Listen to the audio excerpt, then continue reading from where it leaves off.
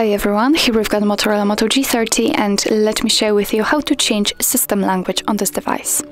So firstly we have to enter the settings and now let's scroll down to actually very bottom and tap on the system.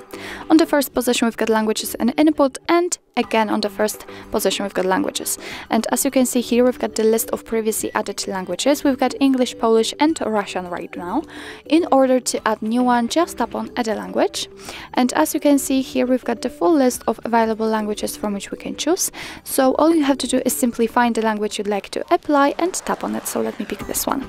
If you can uh, choose the region, just do the same, just tap on the one you'd like to uh, choose. And as you can see, it immediately appears on this list, but we've got still English applied. So in order to change it, all you have to do is simply tap on the language you'd like to use, tap on it and hold it and drag it to the very first position because this is the place uh, this is the place for the language which uh, will be applied and as you can see it immediately changes so it means that from now on the whole system the whole menu will be in the chosen language so let me uh, show it to you again because I'm not really uh, fluent in the Spanish.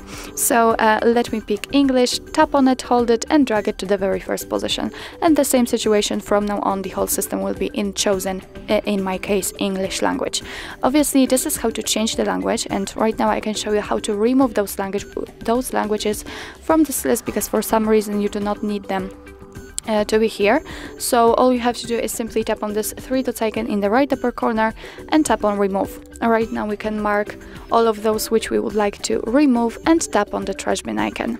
Tap on remove again and as you can see right now we've got only only English uh, here. So well actually that's all. This is how to change and manage the system language in your Motorola Moto G30.